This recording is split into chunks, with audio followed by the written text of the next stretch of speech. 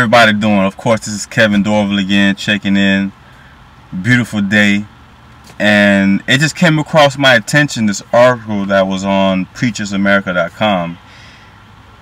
There was a wedding, well, a wedding ceremony, and the apostle that was doing the uh, the service for these this couple, he denied them the ceremony. And guess why? The dress on the woman was apparently inappropriate. Now this took place in Houston, August 10th, 2013. And the pastor just honestly felt that this was just out of order. Her dress. She had too much cleavage showing. And also the uh, dress was just a little too short for him. Now, they have like family from all over the country come by the wedding, come to check her out, him out. They have, uh, you know, the food and, and everything. The reception was going to take place at the auntie's house, um, I, I guess in the local area. But the pastor, when he first saw her, he asked her, where's the rest of your dress? he asked her, where's the rest of your dress? And she said, you know, this is my, this is all of it. And, you know, he was joking about it, but then when he realized that, wow, she's serious, and they realized that he was serious, he denied them the, you know, to actually go through the whole um, process of making, you know, the union between the man and the woman together as one before God. Now, he rented the church out to them to do the service as well and they weren't members of the church. And that's significant because if they weren't members of the church then they obviously didn't understand the rules and the regulations of the church. Oh that's a tough one.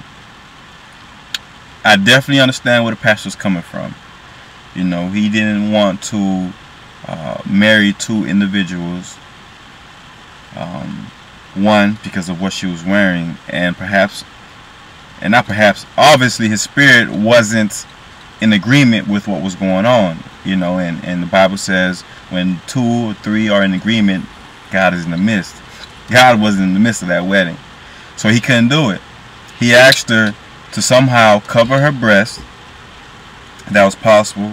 And also to make the dress the length of the dress a little longer. It was way too short.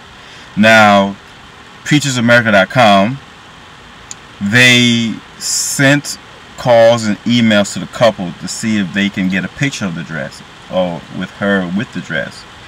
And they emailed them back that picture that you see right here on the video. Now one of the members of the church who's also a pastor he noticed how much the the bride was crying the bride was crying so much that he tried to console her and asked the pastor, the apostle, can he do the ceremony instead? And the apostle felt offended and disrespected. I won't say offended, but definitely disrespected. Um, why would you go ahead and try to make this happen when I just denied them due to the fact of what she was wearing? This article has over 300 comments. Over 300 comments. And I'm in agreement with one thing I saw in one of the comments. And this guy mentioned that since they were members of the church, it should have been protocol for the pastor to have a list of standards so that the couple could know what to expect or, or what were the house rules of the sanctuary. It, it is a sanctuary. You know, just because you rent out the sanctuary doesn't mean that okay, I rent out to you now you can do whatever you want. You know, you got people in there, you know, doing you know sacrifices, cutting up chickens and goats and all that. Just because I rent you out the church, I mean you're gonna do whatever you want to do in the church. So I do believe that the pastor will, from now on, since the church was only 14 months old. I don't to me personally, it doesn't matter how, how old the church is, how young it is, um, the size of the church. It's the power of the anointing of God that rests in that house. and he wanted respect for his church. And the church name was, uh, you know, you see the name on the bottom. I can't remember the top of my head right now, but you know, I, I just pray for the couple. You know, um, there could be a lawsuit coming on behalf of the couple against the church. I mean, he denied, hey, legally, that's against the law, law of the land. So they can sue him for that. Um, are they going to do it? I wouldn't do it. You know, definitely I want my money back, but I wouldn't go ahead and, and, and sue them. You know what I'm saying? I got to respect it. You know, she was wearing some snake. And on top of that, on top of the dress already being short that she bought it, she made some adjustments. You know, some alternations to it. And I don't know what kind of, you know what I'm saying, what did she do, you know?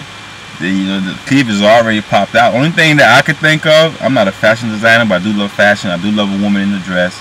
I appreciate the curves that God gave and blessed you women. And um, I pray one day to enjoy my wife in, in her many dresses. But the dress already seems short, so she probably cut it to the side maybe or maybe she made the breast come out a little more. I don't know what else could have been done to the dress because it's already skimpy. You know what I mean? It looked like a dress for a club, even a strip club. You know what I mean? That's the kind of dress it was, all white. But um, you know, God bless them, and I love to hear what you guys think about it. You know, I know I'm, I know I'm doing this video right here in the you know comfort of the Cadillac. You know what I'm saying? Leather all around me. I'm just thankful not just because of the car that I'm in, but that I'm alive.